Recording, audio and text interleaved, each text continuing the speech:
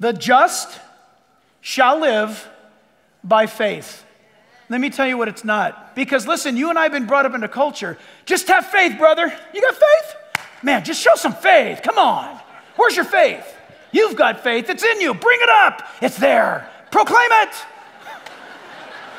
That is false doctrine heresy, friends. Here's the truth of the matter the just, justified, shall live by faith.